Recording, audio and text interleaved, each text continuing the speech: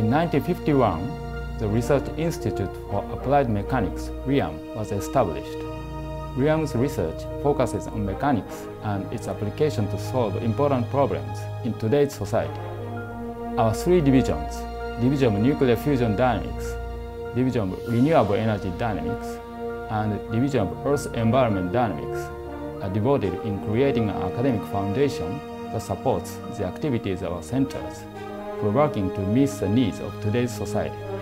We also have four research centers, the Advanced Fusion Research Center, the Renewable Energy Center, the Center for Oceanic and Atmospheric Research, and the International Microplastic Research Center for working to solve current social issues through practical applications.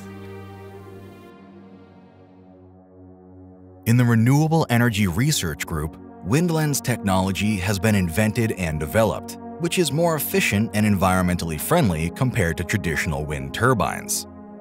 A novel floating offshore wind turbine system, which is suitable for the Japanese environment, is under development. Extensive model experiments have been carried out in our wave tank equipped with a wind generator for safety assessment of the floating platform under extreme wind and wave conditions. One of the major researches in our group is the wake effect of a wind farm.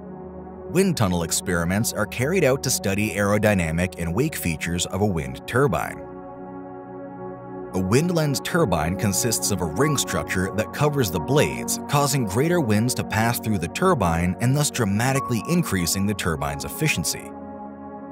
The focus of WindLens research is now shifting to a multi-rotor system, which is a new approach to increase the wind power generation. In the future, WindLens technology is expected to be used in large-scale floating offshore renewable energy farms.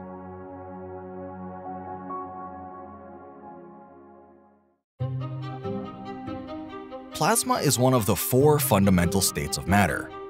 A significant portion of it contains charged particles, that is, electrons and ions. The stars across the universe, like our Sun, are balls of plasma and natural fusion reactors. Today, we are studying that very same phenomena so that we can create the Sun here on Earth.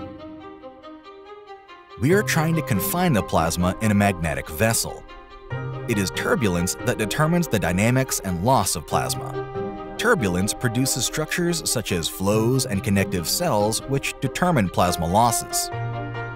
Our purpose is to clarify the structural formation of plasma turbulence to realize magnetic fusion.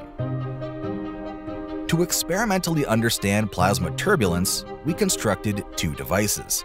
The Plasma Assembly for Nonlinear Turbulence Analysis, or PANTA, a linear helicon plasma device, a Plasma Turbulence Observatory, or PLATO, is the first tokamak to measure the entire cross-sections of turbulent plasma with high spatial resolution using supertomography.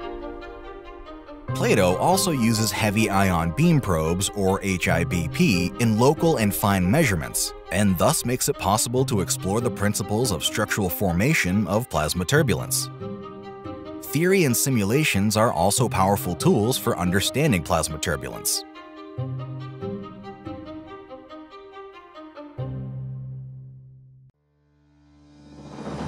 Welcome to a world of steady-state operation of tokamaks.